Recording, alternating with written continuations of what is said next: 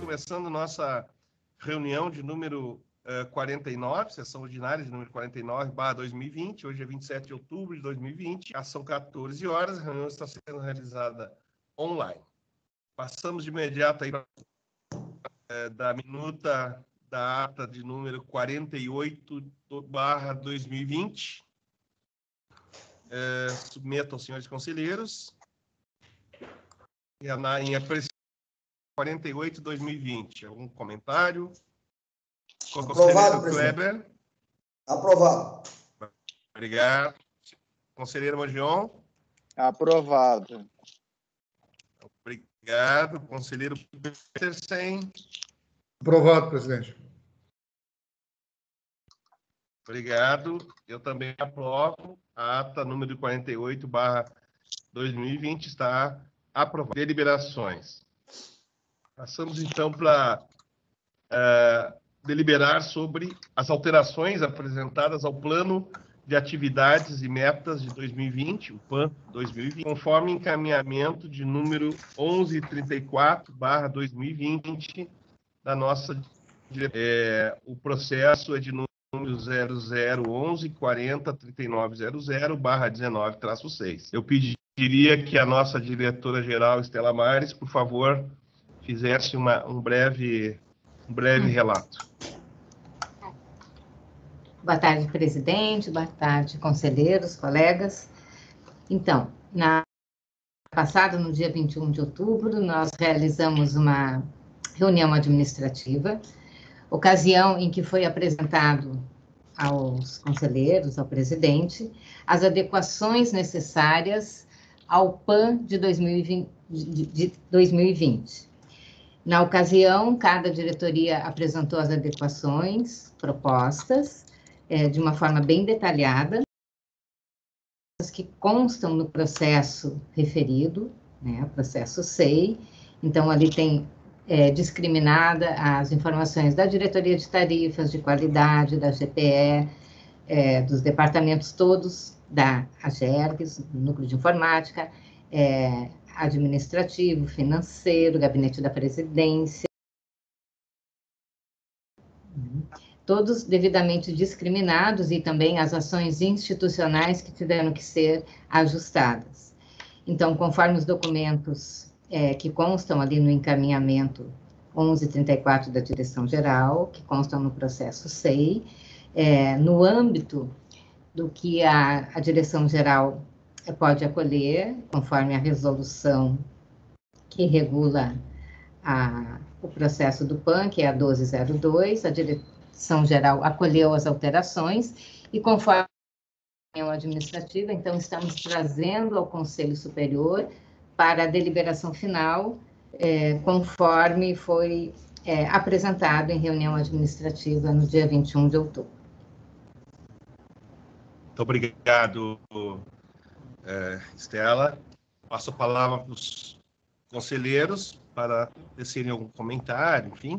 Por favor, senhores conselheiros. É, eu, eu, eu não tenho dúvida, é, isso foi, foi bem discutido na reunião, conforme relatado pela diretora, e eu aprovo as alterações e as proposições apresentadas para a PAN de 2020. Obrigado, conselheiro Manjon. Conselheiro Kleber. Aprovo. Obrigado. Conselheiro Peterson. Da mesma forma, presidente, bem apresentada, aprovo a íntegra. Obrigado. É, inclusive, eu queria parabenizar o PAN, é um instrumento de, extremamente relevante, ele dá uma geral da casa, várias atividades da casa, e, e ele está extremamente bem montado e articulado. Foi possível ver, então, na reunião administrativa, e eu também aprovo, com, dando os parabéns aí para toda a equipe pela qualidade e, e dimensão do trabalho realizado. Então, está aprovada a as alterações uh, propostas para o, o PAN 2020. Nosso terceiro item da, da pauta são algumas comunicações. A primeira delas refere-se ao processo de número é, 000-262-3900-20-0, que trata do reajuste tarifário da ALSUL. A, a, a geral informa que, em cumprimento ao artigo 3 da RED, número 599-2020, a diretoria de tarifas, por meio da informação 116-2020, concluiu que os documentos acostados pela Metroplan atestam a observância das determinações emanadas pelo Conselho Superior da AGERGS. Uh, uh, outra comunicação, 3.2, uh, a Diretoria-Geral informa que foram emitidos os termos de arquivamento de notificação, os TAs. TA número 280, 2020, da nossa Diretoria de Qualidade, para a BRK, Ambiental Uruguaiana S.A., face ao acatamento das manifestações feitas pela concessionária. O processo é de número 000-481-3900-17-7.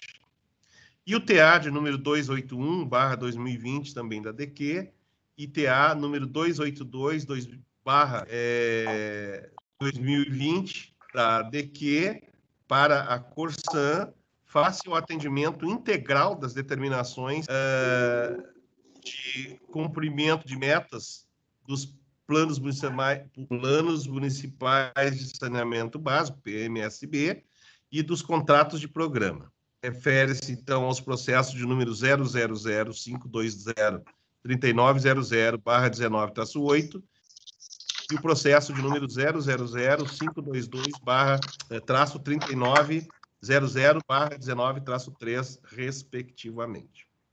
E, por fim, a diretoria geral informa que foi emitido o termo de encerramento de número 0006-2020, SFG, para a PESE Energética SA, PCH PESE, relativo ao auto de infração de número é, 00-2020, traço AGERGS SFG, conforme fatos descritos na informação de número 115, barra 2020 GPE. Refere-se ao processo de número 00307 39 00 barra 20 traços. Essas são as comunicações é, previstas. E, por fim, eu passo para os nossos assuntos gerais, a palavra para alguma consideração que se enquadre em assuntos gerais. Por favor. É, presidente, é só para informar que tramitou na mais um conselheiro para a Gergues, é o senhor Alexandre Alves Force. Ele foi já tramitou na Comissão de Serviços Públicos. Já foi aprovado lá o nome dele. Ah, perfeito. Perfeito. É. Agora falta só o plenário, então, é isso, né? Isso. Ele foi concluído, tramitação, é, dia 23 de 10. Transformado em PDL. Não, só um pouquinho. Diário Oficial da Assembleia. É, até sei se já não aprovou aqui. Projeto de decreto legislativo. É. Se, tá, se não saiu, tá na boca para sair aqui, tá? Perfeito. Está quase Perfeito. pronto já. Mais um conselheiro. Esse, se eu não me engano, ele é economista proveniente da PE. Uhum. Perfeito. A Federal do Paraná, né? Ok. É, Mais algum assunto, senhores? Eu queria aproveitar, então, uh, também para só para reforçar aí a, o convite. No fim, acabou ficando na véspera de feriado. Antes não era feriado, agora vai ser o dia 29, né?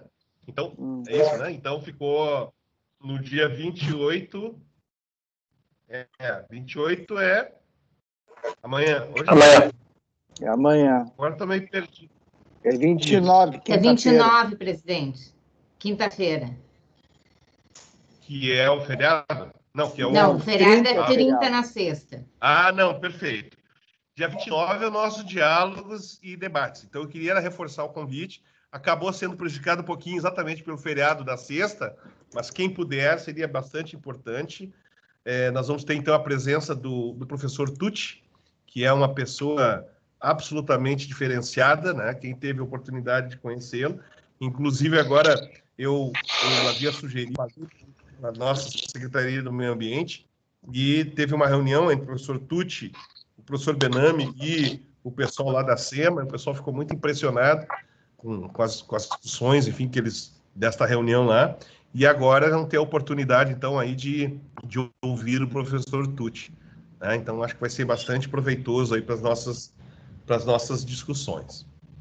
É, aproveitando também, ainda como assuntos gerais, eu acabei de participar agora, terminou, a reunião era para ser uma hora, terminou duas, passaram-se duas horas, isso aí, na realidade, foi da Baixa, e, e, então foram discutidos alguns temas associados com a próxima, uh, o próximo congresso ser é, no ano que vem, em, no Paraná, o pessoal está discutindo se vai ser em Foz do Iguaçu ou em Curitiba, muito provavelmente vai ter uma dimensão presencial e outra remota, enfim, não se sabe bem ainda o que vai acontecer, mas a principal, a principal discussão que acabou acontecendo hoje, eu estou aproveitando trazer aqui para o Conselho, é uma grande preocupação que está é, em pauta em nível nacional em relação a uma lei posta pelo governo de São Paulo e que, de alguma forma, é, inibe a ação das diretorias lá,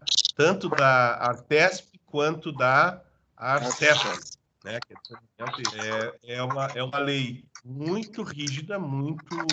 É, eu diria que, de, em letras muito claras, é a captura por parte do governo definitiva da agência, impedindo uh, o trabalho independente da agência e condicionando qualquer decisão da agência né, passando pelo crivo prévio do Estado. Eu fiquei absolutamente horrorizado. Eu já tinha, numa reunião do IBEG, que eu tive o, o privilégio de participar, estava presente lá o secretário de Transportes, né, que parece é, um dos que Paulo acabou mandando para a Assembleia, que foi aprovado. E eu tive a oportunidade de dizer a ele que eu achava que era um jabuti na Eu fiquei extremamente impressionado que São Paulo, que é grande, o grande inspirador, vamos dizer assim, das questões regulatórias em nível nacional, esteja agora se portando de uma, de uma forma absolutamente primitiva, né? absolutamente em descompasso com o que é racional e inteligente. É, e aí o secretário, eu acho que não gostou muito, não sei porquê das minhas observações lá, né? mas ele jurou de pé junto que a lei não iria da forma como como estava até então redigida. Mas, na realidade, me parece que ele não cumpriu muito com a palavra dele, porque permaneceu mais ou menos, mudou, segundo o pessoal da Bar lá, diz que trocou mais ou menos seis por meia dúzia e ficou o palavreado lá e tocou da mesma forma. Então, eu até fico muito impressionado, particularmente pela o pessoal da Arcesp, né, que é de saneamento e gás, se não me engano, que eles regulam, né? o, o praticamente desespero deles em relação à situação em que eles estão. E a, a, a diretora, não sei se é diretora, conselheira, não sei como é que o pessoal se refere lá, ó, a, é, mas é uma pessoa extremamente qualificada, nos poucos, poucos contatos que eu tenho lá, é, ela dizendo que simplesmente está paralisada as ações da Arcesp por uma razão muito simples. Se eles tomarem, e tem uma série de decisões regulatórias que precisam ser tomadas, assim como nós temos que estar o tempo inteiro tomando, dias como hoje, reuniões são raros, né? praticamente a pauta é muito pequena. Mas lá eles têm uma pauta muito ampla, né? assim como nós normalmente temos, talvez até mais, e eles estão absolutamente paralisados porque eles temem que qualquer ação que eles tomem agora, o pessoal pode invocar o fato de que eles não consultaram previamente o governo. Por outro lado, não tomar a ação, eles também estão descumprindo. Então, eles estão numa situação lá, como diz no popular é, português, né, numa sinuca de bico. Né? Mas, de qualquer forma, a sugestão lá da, que está sendo discutida na ABAR é que sejam tomadas iniciativas, inclusive, se possível, é, iniciativas jurídicas, né, para tentar ajudar os nossos colegas de São Paulo, que, pasmem, estão numa situação muito pior que qualquer outro estado, que é absolutamente explícita a captura por parte do governo, né? E, e, e absolutamente lamentável, né? Então a BAR está se articulando para tentar agir das mais das formas, inclusive eu sugeri que não ficasse só no âmbito legal, que estão contratando eventualmente consultoria para emitir pareceres e caracterizar como a inconstitucionalidade do que foi feito em, lá em São Paulo. Mas mais do que isso, eu sugeri que também a BAR tivesse algumas iniciativas junto à mídia, e principalmente para mostrar que um estado como São Paulo está correndo um sério risco, porque os investidores vão precificar, como se diz no jargão econômico, né? e muito provavelmente vai significar que boa parte dos investimentos que poderiam estar sendo canalizados para São Paulo vão deixar de sê-lo. Né? Mas eu, então, eu deixo registrado aqui a preocupação da BAR, e que é minha particularmente também, que imagino seja de todos nós, em relação ao fato de São Paulo estar servindo de um péssimo modelo de como e das relações entre o poder concedente e a agência, ou no caso, as agências é, reguladoras. É, como o São Paulo tem uma influência muito forte no país, né, eu temo que essa iniciativa possa depois inspirar outros outros governos, por exemplo, o federal, que já está acontecendo coisa parecida também. Né? Isso é muito, muito ruim para o ambiente regulatório do país, para a expectativa de que o país possa atrair investimentos né? é, para que a gente possa prover a infraestrutura do país e compensar esse gap, essa defasagem que a gente tem é, em relação à disponibilidade de infraestrutura em quantidade e qualidade necessária. Eu faço esse registro com muito pesar até, mas dizer que é, vamos continuar peleando, até com muito mais ânimo, né? E eu acho que a, a BAR, nesse caso, ela é a, o local que congrega uma preocupação conjunto das agências, né? E, e, e só para dizer então que a minha participação lá como diretor tem sido bastante, eu procuro, estou procurando ser, inclusive, bastante incisivo em relação à postura que a VAR tem que ter de não corroborar, não abaixar a cabeça, pelo contrário, ser, um, ser absolutamente ativa em relação a auxiliar, no caso, os nossos colegas de São Paulo. Tá? E, e, e, realmente me deixa muito preocupado isso. Acho que é um retrocesso inominável que a gente está vendo. Muito provavelmente, inclusive, associado com o fato do governador lá do estado ter outras ambições e que eu acho que é absolutamente legítimo, mas ele não pode fazer isso em cima de promover um retrocesso institucional é, absurdo. Né? Então, esse é o registro de deixar aqui a nossa. Mais alguma consideração, senhores? Bom, pois não? Já existe alguma situação à vida assim entre entre decisões tomadas pela, pelas, pelas agências em relação às concessões, além daquela primeira que a gente soube que o governo resolveu não acolher? É, na realidade, esse foi o estopim, né? Ali parece que tinha um certo conflito mesmo, porque falava um pouco, até onde eu sei, é, de que lá, lá em São Paulo, na realidade, parece que chegou a ter, ter uma certa confusão né, entre o papel de poder concedente e o papel de regulador. Então, a agência começou, começou a ganhar espaço demais e acabou abrangendo parte das ações que nitidamente eram do poder concedente. Só que isto motivou, então, essa barafunda toda. Na verdade, começou na área de transportes, né? que tinha a ver com, com obras não previstas, que a agência começou a querer chamar para si a iniciativa de avaliação e coisa do gênero. Bom, só que isso se estende questão de saneamento também. E aí parece, aí obviamente que eu não tenho evidência disso, não chegou a ter um caso explícito, mas tem muitos latentes, vamos dizer assim, tá, Kleber? É, então tem muitos latentes. Então, na realidade, essa discussão aí, ela não se refere só a transporte. Tem uma série de outras iniciativas em que, é, porque a, a, questão surgiu em transportes, mas o governo de lá foi lá e imediatamente já associou a questão do saneamento e, e no caso lá, isso regula um gás também, que é no caso da Arcesp. Né? Então, embora não tenha um caso específico, mas muito provavelmente tem vários latentes que estão ali, pulsantes, mas que não, não chegaram a se caracterizar. É, mas a grande questão é que, da forma como está ali, só para ter uma ideia, o pessoal está responsabilizando o CPF, a pessoa, a pessoa física, por algumas decisões se a agência tomar que, de alguma forma, contrariem os interesses. É um negócio que era a melhor solução para eles, se for isso mesmo, é todo mundo abandonar a agência, porque ninguém em sã consciência vai ficar lá sem, sem ter o mínimo de condições de trabalho. Né? Mas é desesperadora. Ver a diretora lá falar, é, chega assim, ó, é um negócio que, que eu, fiquei impressionado de ver. Ela está literalmente pedindo socorro. Assim, eu estou pedindo socorro, porque nós estamos acabando. Então, isso é uma coisa, coisa séria demais. Não é um problema só de São Paulo, e é isso que a Bar comprou ideia.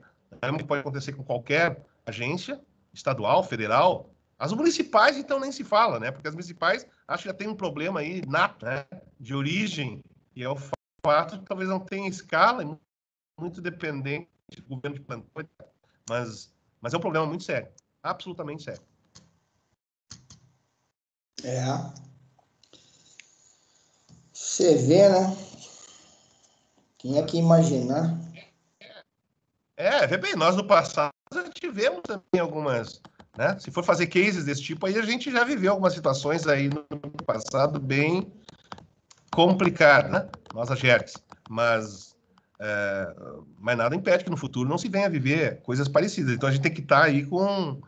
É, eu, eu vi uma expressão muito interessante que tem algumas pessoas, talvez alguns governos pensem dessa forma, que confundam habeas corpus com corpus. Né? Eu achei muito interessante direção. E acho que alguns estão cometendo alguns erros crassos aí que a gente não pode deixar que eles vinguem. Presidente. Ok, senhores. Pois não. É, eu digo novamente, que eu tenho dito há muitos anos, a solução para as agências de regulação é elas estarem previstas na Constituição dos Estados e da Constituição Federal.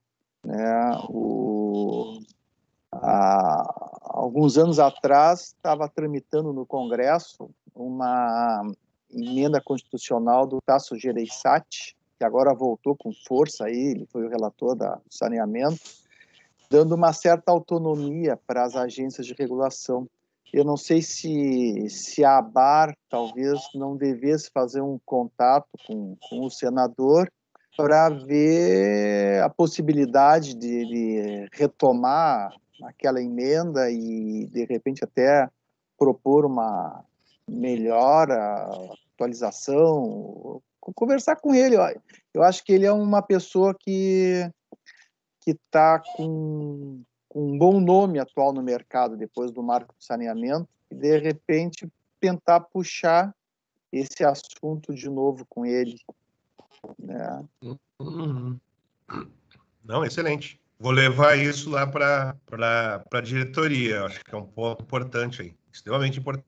Que daí realmente dá uma, uma, uma base é, jurídica muito mais estável, muito maior, né? É. Ou seja, e ao, e, ao mesmo, e ao mesmo tempo também, eu, eu, eu, sempre insisto, né? A gente poderia tentar incluir na nossa Constituição, é, e, eu digo, se, se o governo do estado realmente entende a regulação como diz que entende, talvez ele poderia é, propor uma emenda na nossa Constituição, dando as autonomias que de fato nós precisamos para não ficarmos reféns de um governo de plantão que eventualmente tenha maioria no parlamento e acabe com a instituição de na prática. Sim. Sim. Perfeito. Ok. Mais alguma consideração, senhores? Bom, em não havendo, então, é, agradeço mais uma vez a presença de todos e é, podemos encerrar nossa sessão ordinária de número 49, barra 2020.